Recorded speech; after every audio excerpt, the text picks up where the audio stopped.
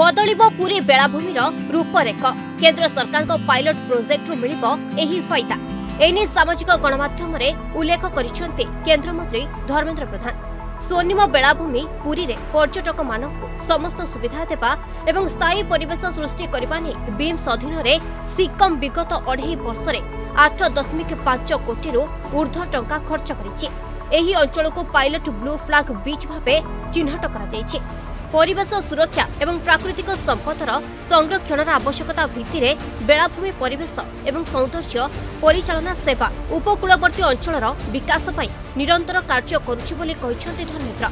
ଆଗାମୀ ପର୍ଯ୍ୟଟନ ଋତୁରେ ବିମ୍ସର କାର୍ଯ୍ୟକ୍ରମରେ ବ୍ଲୁ ଫ୍ଲାଗ୍ ମାନ୍ୟତା ପାଇବା ପାଇଁ ଆନ୍ତର୍ଜାତୀୟ ଜୁରି ଡେନମାର୍କକୁ ସୁପାରିଶ କରାଯାଇଥିବା ଆଠଟି ଭାରତୀୟ ବେଳାଭୂମି ମଧ୍ୟରେ ସ୍ୱର୍ଣ୍ଣିମ ବେଳାଭୂମି ପୁରୀକୁ ମନୋନୀତ କରିଥିବାରୁ ପ୍ରଧାନମନ୍ତ୍ରୀ ନରେନ୍ଦ୍ର ମୋଦି ଓ କେନ୍ଦ୍ର ପରିବେଶ ମନ୍ତ୍ରୀ ପ୍ରକାଶ ଜାଭେଡକରଙ୍କୁ ଧନ୍ୟବାଦ ଦେଇଛନ୍ତି କେନ୍ଦ୍ରମନ୍ତ୍ରୀ ଧର୍ମେନ୍ଦ୍ର ପ୍ରଧାନ। ଏହି ବିଶ୍ୱସ୍ତରୀୟ ସୁବିଧା ହେବା ଦ୍ୱାରା ପୁରୀରେ ପର୍ଯ୍ୟଟନ କ୍ଷେତ୍ରରେ ବୃଦ୍ଧି ପରିଲକ୍ଷିତ ହେବ ଏବଂ ଆନ୍ତର୍ଜାତିକ ପର୍ଯ୍ୟଟକମାନଙ୍କୁ ଆହୁରି ଅଧିକ ଆକୃଷ୍ଟ କରିବ ସେହିପରି ପର୍ଯ୍ୟଟନ ମନୋରଞ୍ଜନ ସୁବିଧାଗୁଡ଼ିକରେ ବାଉଁଶର ବ୍ୟାପକ ବ୍ୟବହାର ବିଶୁଦ୍ଧ ପାନୀୟ ଜଳ ୱାଚ୍ ଟାୱାରର ବ୍ୟବସ୍ଥା ସହ ପର୍ଯ୍ୟଟକଙ୍କୁ ସୁରକ୍ଷା ପାଇଁ ସିସିଟିଭି ଲାଇଫ୍ ଗାର୍ଡ ଓ ସୁରକ୍ଷା କର୍ମୀଙ୍କୁ ମଧ୍ୟ ମୁତୟନ କରାଯାଇଛି।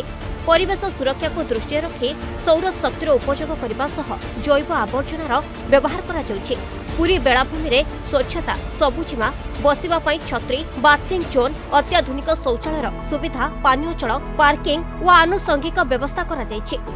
ପୁରୀ ବେଳାଭୂମିରେ ସ୍ୱଚ୍ଛତା ସବୁଜିମା ବସିବା ପାଇଁ ଛତ୍ରୀ ବାଥିଂ ଜୋନ୍ ଅତ୍ୟାଧୁନିକ ଶୌଚାଳୟର ସୁବିଧା ପାନୀୟ ଜଳ ପାର୍କିଂ ଓ ଆନୁଷଙ୍ଗିକ ବ୍ୟବସ୍ଥା କରାଯାଇଛି ବୋଲି କହିଛନ୍ତି Dharmendra Pradhan.